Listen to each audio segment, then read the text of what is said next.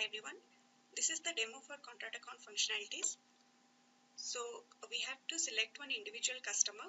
After that we will go to utilities contracts facet. This is the table for contract account. Here we have all the actions. So we will start with create contract account.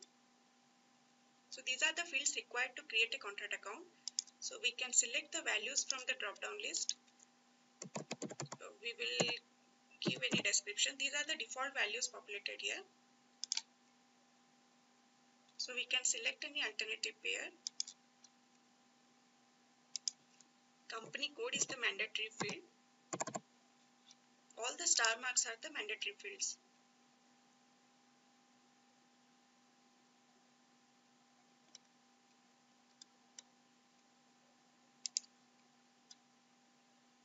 If we click on save, then the contract account is created. So if we refresh it here,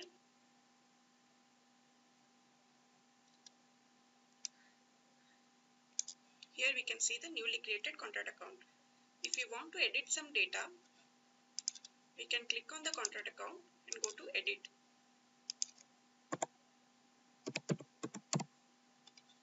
So again if we click on save, then it will be changed successfully.